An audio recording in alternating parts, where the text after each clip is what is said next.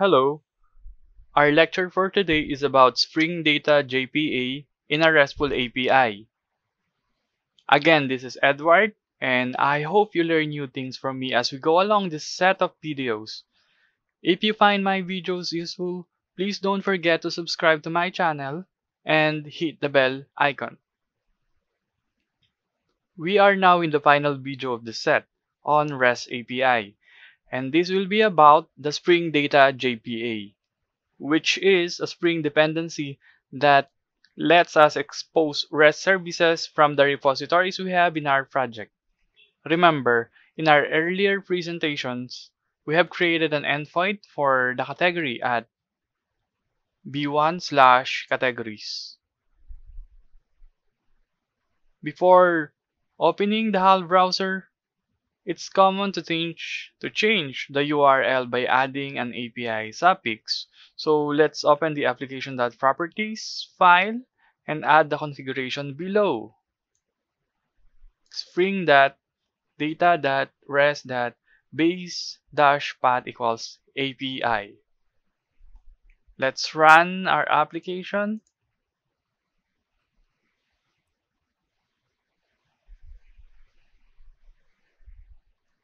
And navigate to localhost forward slash API. Don't forget the port 8080. So localhost forward 8080 forward slash API. We should be able to see the list of available repository endpoints from our project like categories, products, dealers, and more. And you can play with these endpoints in the HAL browser figuring out the parameters.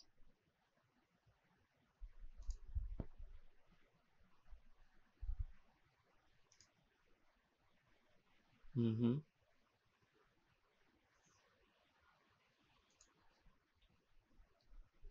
Another important thing to remember is that we can exclude a repository in the auto-generated endpoints if we want to. We just need to annotate the repository with at repository res resource exported equals false as we can see here. In case it's the method we want to exclude just override that method and annotate with at resource exported equals false. That's why we don't see the brand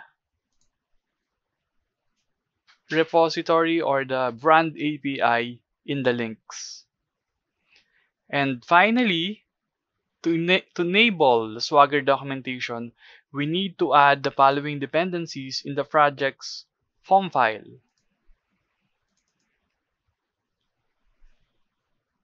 The Springfox, Swagger, Swagger UI,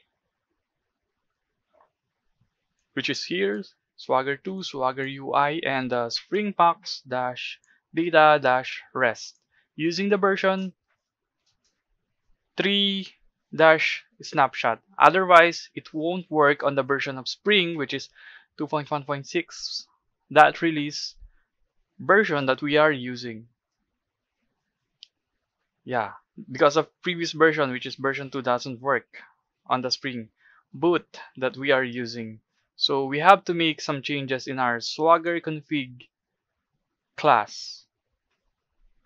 So we need to replace the Swagger 2 with at enable Swagger 2 web MVC and add the import annotation with the parameter Spring Data REST configuration.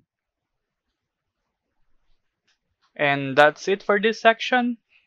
Next, we will start working on a microservice architecture or possibly our client app, which will be in React.